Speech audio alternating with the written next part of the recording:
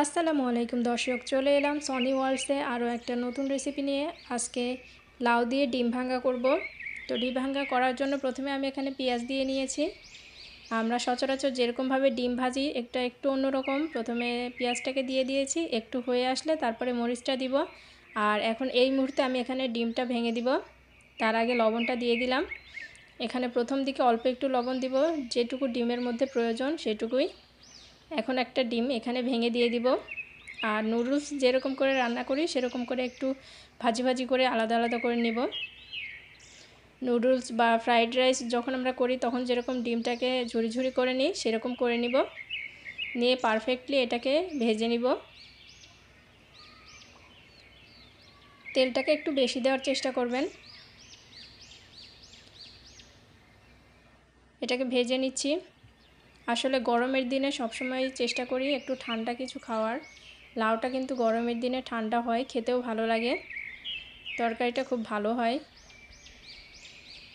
গরমের দিনে যে কোনো তরকারি খাওয়া যায় না। যেহেতু অনেক গরম পড়ছে, কিছুদিন যাবত আবারও।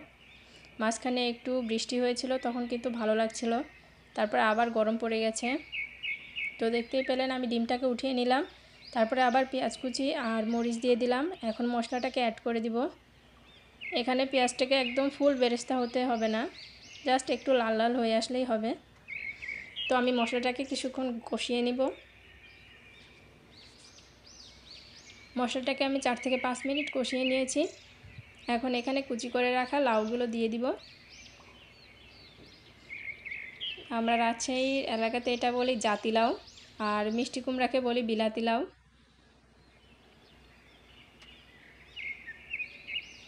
এখন এই লাউটাকে আমি কিছুক্ষণ ঢাকনা দিয়ে ঢেকে কষিয়ে নিব।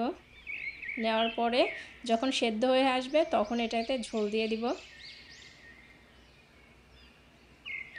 ঢাকনা দিয়ে ঢেকে দিলাম। এই রান্নাটা কিন্তু খুবই ইজি আর খুবই কম সময়ে করা যায়। এই জন্য আমি যখন খুবই ব্যস্ত থাকি বা দ্রুত রান্না করতে হবে তখন এই রেসিপিটা করি। এটা যেমন শীতের দিনে খেতে ভালো লাগে, গরমের দিনেও সেরকমই খেতে ভালো লাগে। শীতের দিনে ঠান্ডার সময় মানুষ লাউ একটু কম খায়, কিন্তু গরমের সময়টাতে এইটা আমার খুবই ভালো লাগে।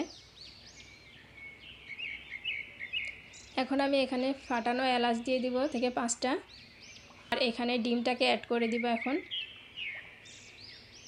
ডিমটাকে অনেকে আছে যে প্রথম দিকে অ্যাড করে, তবে আমি শেষের দিকে অ্যাড করছি, তাহলে ডিমের ফ্লেভারটা ভালোভাবে পাবো।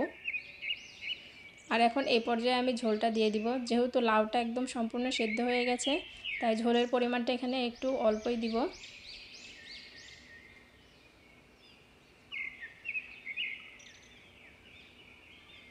এই তো তৈরি হয়ে গেল লাউ দিয়ে ডিম ভাঙা। এটা খুব বেশি সময় এখন আর রান্না করব না।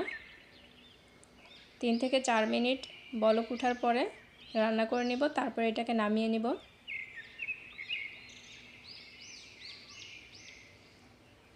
এই তো তৈরি হয়ে গেল।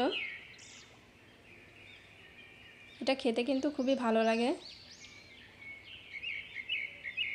যারা এখনও ট্রাই করেনি, তারা অবশ্যই বাসায় এটা ট্রাই করবেন। দেখবেন সত্যি ভালো লাগে খেতে।